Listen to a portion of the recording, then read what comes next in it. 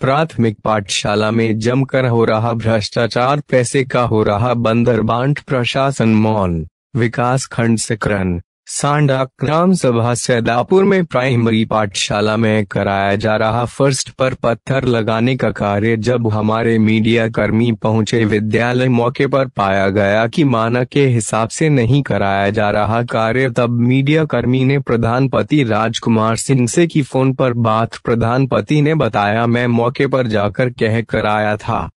First तोड़कर कार्य सही से कराया जाए, यही बात सेक्रेटरी अर्पित गुप्ता ने भी बताई, लेकिन मौके पर हो रहा उसका उल्टा क्योंकि ठेकेदार जो है वे सेक्रेटरी अर्पित गुप्ता के पास ड्राइवरी का काम करते हैं, साथ में उन्हीं से ठेका लेकर सरकारी कार्य कराते हैं। जब सेक्रेटरी के पास ही कार्यरत है, फिर इनको किस बात का डर है? क्योंकि पैसा निकालने में इनको कोई दिक्कत होनी नहीं है। सेक्रेटरी साहब तो साथ ही हैं सीतापुर से संवाददाता करण कुमार की रिपोर्ट।